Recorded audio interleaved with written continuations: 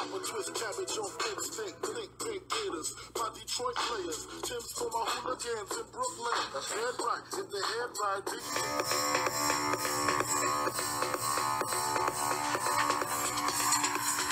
Welcome back to my YouTube channel. This is Mark Harmon from www.marklove1769.tumblr.com featuring the Atlas roller from atlasfoamroller.com. Right here, what you're seeing is you're seeing me just after I did a pull up set, set of 10. I am really loosening up my lower back and upper back. So I'm just getting a wide range, getting those shoulder blades really well, the top of the shoulders, and just really stretching out so I can get ready for that next set. Pull ups can be done practically anywhere. You just got to start doing them. The best thing that uh, I can tell you to do is get a partner to help you out with the pull ups, to help get that part or that partner will put their hand under the feet of the ankles and assist you up to where you can get one, two, three, ten, and then that's how I started. Trust me, it's worth it. Right here, I'm grabbing that bar, and what I was doing is you grab that bar, and then you're really focusing on one side or the other. So I'm dropping set here right after pull ups. I'm going to be stretching out my lats because that's exactly what I'm working out when I'm doing pull ups or a similar type of exercise. So I'm going to be going, uh, you know, in other videos you saw it, but the right, the left, and we want to always finish up in center. So anything that stretches out the that muscle, the target muscle, you always want to focus on, you know, stretching out that muscle, really bringing in that uh, blood and that stimulation to the muscle. And in past videos, you saw that. We're just reminding you of the transitions. So, you know, always focusing on one side and the other, left, right. Always make sure you get really good stability with the Atlas roller. Always make sure that your hands are stable and and um, and ready to catch yourself if you lose your balance. What I just did was a little bit of, oblique stretch, nothing crazy. Um, it's it hits the lats a little bit. You see the triceps, how I go to a 90 degree angle with the arm. That's the upper arm and forearm. See that 90 degree angle? That's going to be stretching out your uh, lat area, your obliques. You know, you get a little bit of chest tightness, but anyway, main main thing is just the sides, the obliques, and the lats. That's a lower back stretch. Always want to stretch really well. That's going to reduce your soreness at least by 50% during exercises. So, in this, I just finished up with a shrug on the Smith machine. So, I'm real tight up there in my traps. So, anytime you're lifting anything, uh, anytime you're you know using you know stabilizing muscles, I mean, I'm telling you, your back is to be tight. And so it's always good to get on that wall. I'm on the mirror here, but the mirror is great to show, demonstrate to y'all exactly what's working. Because you can see my form and you can see other muscles working at the same time. So don't just think this is just for the gym. It can be anywhere. So see how I'm getting that lower back really just leaning into it. And um, right here, I'm transitioning to the a different angle on the shoulder blade. So that would be more like I don't know, like if you would call it about a 60 degree angle, or actually that's more, more like a 45 degree angle. But anyway, it doesn't really matter. Just making sure that you really get in those like those areas, those divots or those those small little creases where you really feel the most tension and I'm just digging in into that side. And and the reason why that this is useful is because the the Atlas roller is you're able to control the Atlas roller more. Uh, regular foam roller you cannot control it like you can control this Atlas roller, and so that's that's the difference between this and a generalized foam roller. But anyway, you see how my hands are always on it, controlling the angle, so you can have it at any angle you want on that wall, find it, and then just dig into it. If you can't find it, try it again, do a different angle. And I, I promise you, as long as you're leaning into these things, as long as you're really trying to, you know, push against, you know, those back muscles, I promise you, you're going to benefit.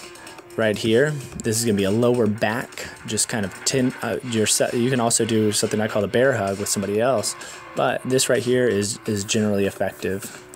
And so you just really push into your lower back as you're standing, and you can go all the way to your butt, and you can roll out your butt too. And actually, feels pretty good. So um, you, I mean, your butt's a big muscle, so you know, don't be shy about it. So there we go.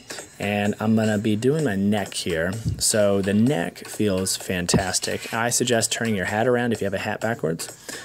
And but anyway, the neck is always tensed up.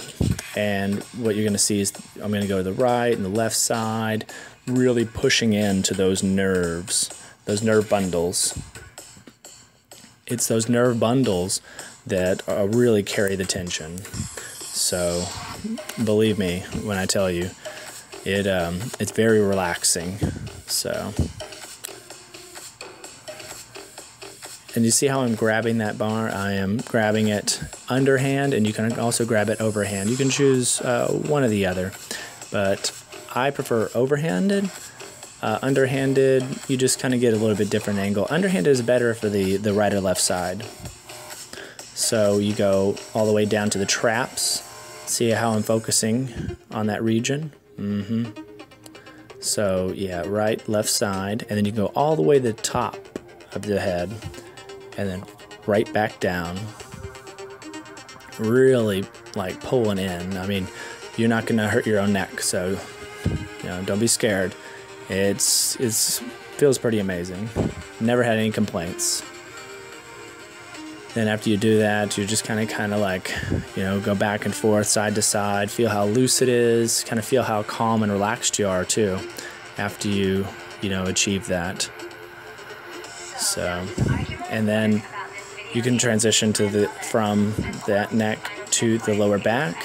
Again, pushing down the two areas where you carry a lot of tension is your neck and your lower back. Everybody knows that.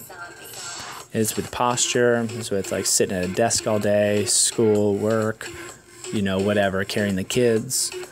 You always have that tension in your neck, in your traps, and then on your lower back. It's always just, I don't know.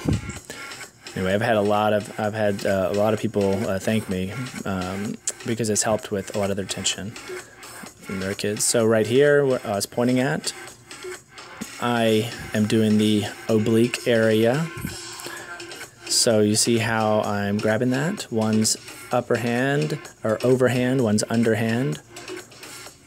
I really suggest you do it the way that I'm showing you there, but um, but if it's comfortable another way for you, you feel free to do it to comfort. So I'm just showing you hand placement.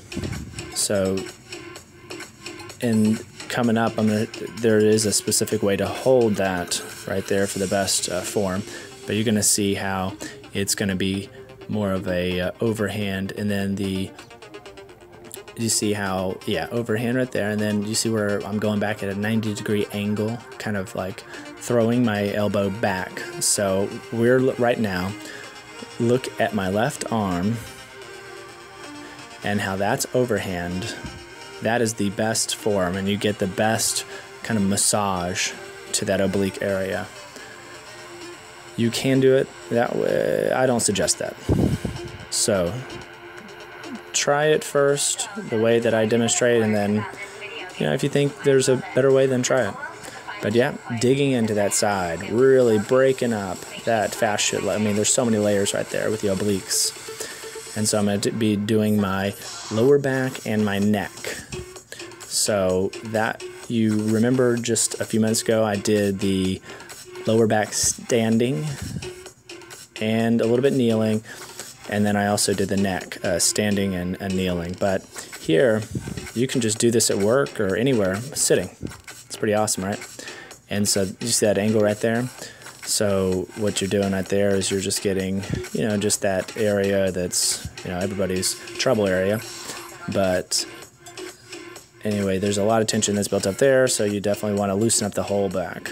But like I said, you can do it while sitting, just you know, doing the office or at home, even when you're watching TV or something. Yep.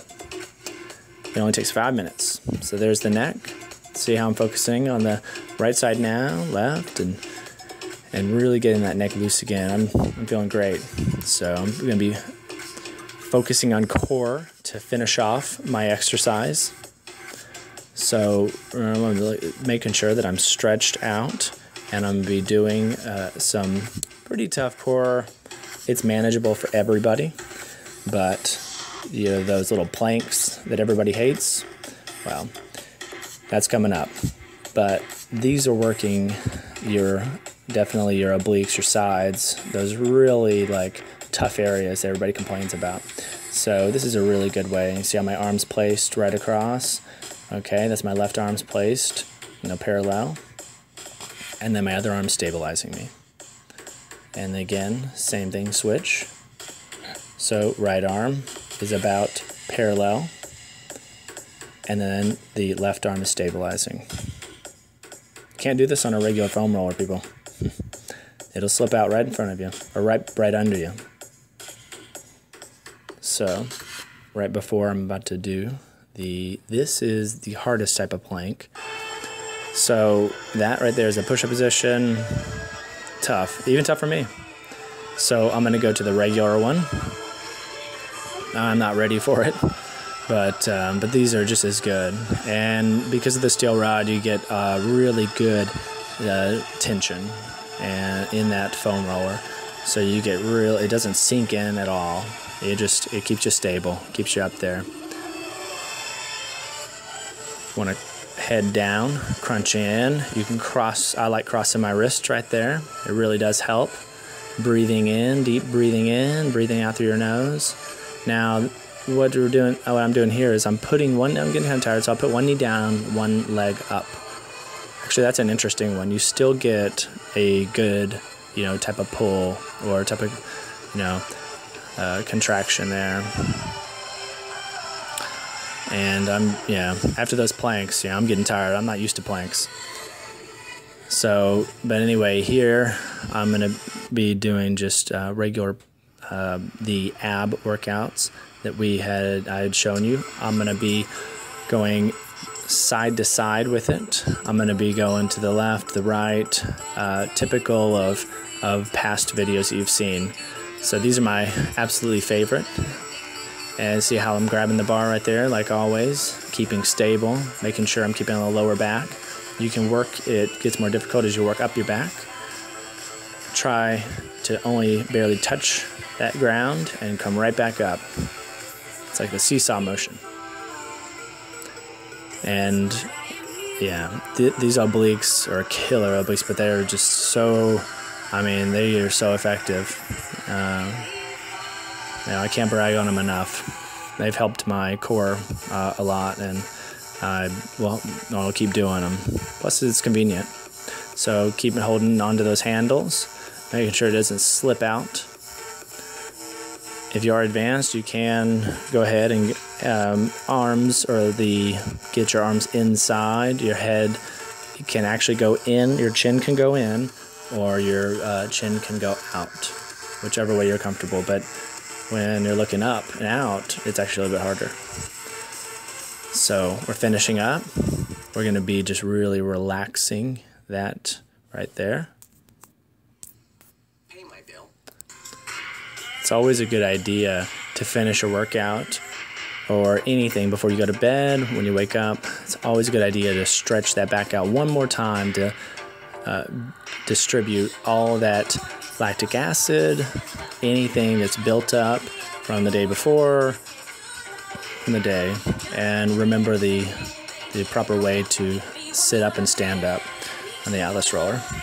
All right, check out atlasfoamroller.com visit me on my Tumblr. And I hope to see y'all. Push subscribe for me.